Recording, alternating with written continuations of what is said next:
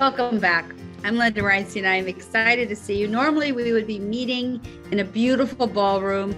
Maybe we'd be sipping a glass of wine and we'd be talking about the great proceedings and the presentations and all of the great conference stuff, the takeaways that we go back to our cities, states, and nations with.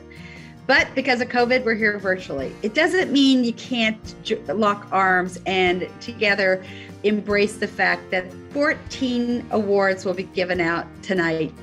And most importantly, Jordan Zevon is going to be playing with five other musicians to open the show. So it's a great way to rally around and take take a bow.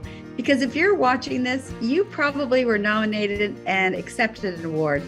And if you're watching this, that means you're extra dedicated after a long academic conference. So I'm going to do just a quick open so that if somebody's joining and they haven't heard about us or know what's going on, they're going to sit through the awards and go, wow, I want to join that fight too.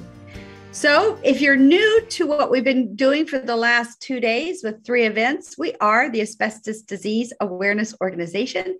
We've been around for 17 years doing what we think is important.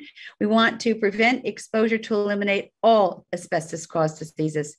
We got a spectacular surprise today when Rebecca Reindel from AFL CIO, during her keynote, showed us the new link that the AFL CIO have established to show congressional support for the Alan Reinstein Ban Asbestos Now Act. That's a pretty big deal.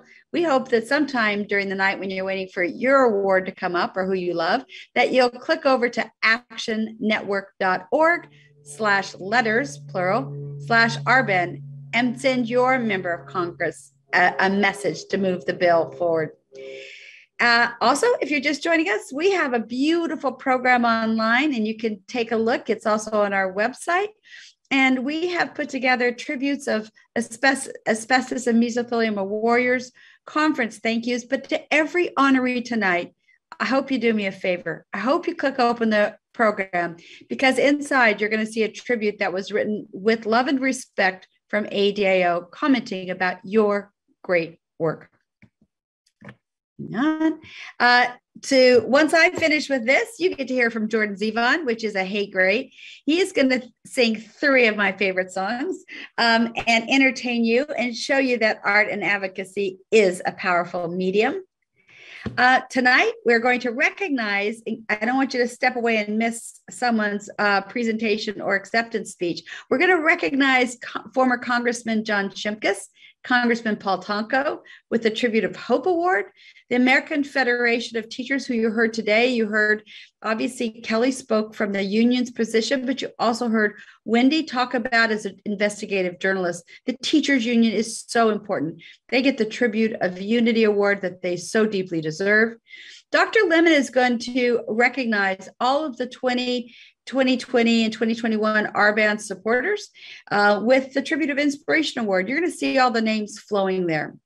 Dr. Jackie Moline is truly incredible. She's getting the Dr. Selikoff Award. She's getting it for a reason. She embodies what Dr. Irving Selikoff stood for with her occupational medicine and what she does to help ADL and her patients. Judd Apatow is one great filmmaker and comedian. I'm sure he's not laughing too hard to know that asbestos hasn't been banned. Uh, Jordan was able to make an introduction, and because of Judd's um, relationship with Warren, he uh, dedicated Record Store Day to ADAO. He's receiving the Keep Me in Your Heart Award. So I look forward to uh, having that award presented by Jordan to Judd. And then Emily and I had the sheer honor to present Barry Robson and Robert Sussman with Alan's Award. It used to go to mesothelioma warriors, somebody who possibly a, a patient or a family member. But what it actually does now after 17 years, there's so many deserving people that if Alan was in the room, he would walk over and say, Thank you for being a warrior with me. So it doesn't just go to a patient or family member. That being said, we want to recognize our three keynote speakers who did an awesome job on Friday and Saturday. You're going to hear Wendy Ruderman, Rebecca Reindel, and Julie Gunlock all receive awards from three amazing uh, presenters. And then last but not least, if you want to know how we get our work done, we have three law firms that believe in ADO's work. And I'm honored, privileged, and grateful that they stepped up to the plate, especially during COVID. The Simmons Hanley Conroy Law Firm has been with us for over 10 years. In the very beginning, ADO didn't accept any law firm donations. Doug and I wanted to make sure that ADO was a very independent organization. So we said no everybody knows who we are now. Nobody, everyone knows we can never be bought, and everyone knows we don't make referrals. So we're able to take law firm donations to support our briefings and our work, and we're grateful. Uh, Sarah uh, Salger is going to be coming in with the Gori Law Firm as a gold sponsor, and Chris Meisenkothen is going to be recognized for the silver sponsor award that goes to Early Lucarelli, Sweeney, and Meisenkothen.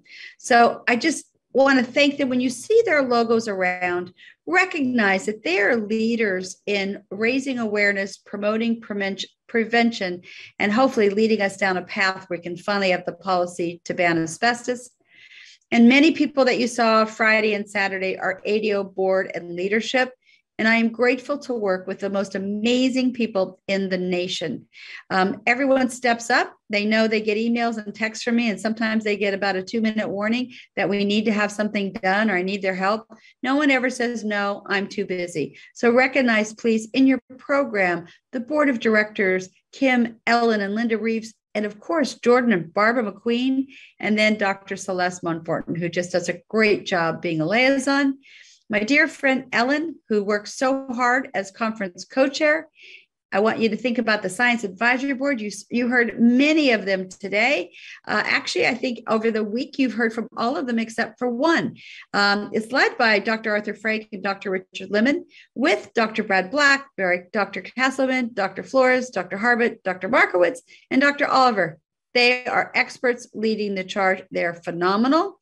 And lastly, last but not least, uh, Brent Kynoch really heads up our prevention board. And you heard Mark Catlin, Tom Laubenthal, Tony Rich today. And we also have Claire Deacon from the, from South Africa and John Newquist and Mark Winter from the UK. These people recognize that prevention is part of the cure and they devote their time to ADAO. That being said, that concludes the PowerPoint so you know who we are, what we do, why we do it, and hopefully you'll continue to join our fight. So sit back. Cheers to all of those honorees. They have earned the recognition that they will get tonight. I'm signing off for the moment. Enjoy the awards program. Thank you.